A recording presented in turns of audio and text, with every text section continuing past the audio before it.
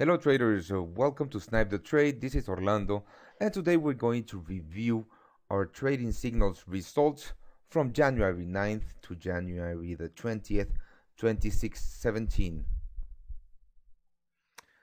Okay, as uh, you can see right here, uh, I'm going to open the account history and uh, if we go to the top you can see that we are starting right here at um, uh, January the 9th, where we canceled this uh, sell stop on the euro US dollar.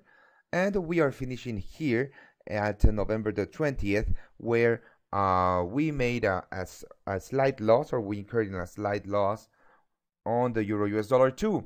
But if you see the results on uh, our signals, we made $14,848 with 60 cents in the last two weeks which means that we made around 8% in two weeks with our trading signals, risking only 1% of the account.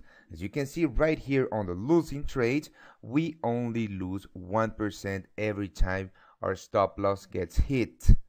And as you can see, we make more than 2% once our profit targets get hit. And we had a great euro US dollar uh, risk to reward scenario where we made more than 7%.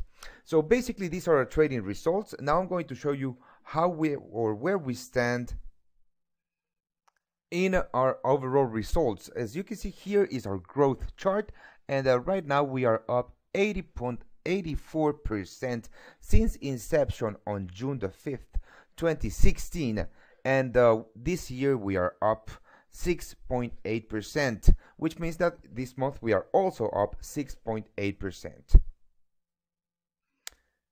And uh, if you'd like to profit with us, just join our services at uh, www.snipethetrade.com and uh, you can make, as we can see right here, around 8% per month with our trading signals.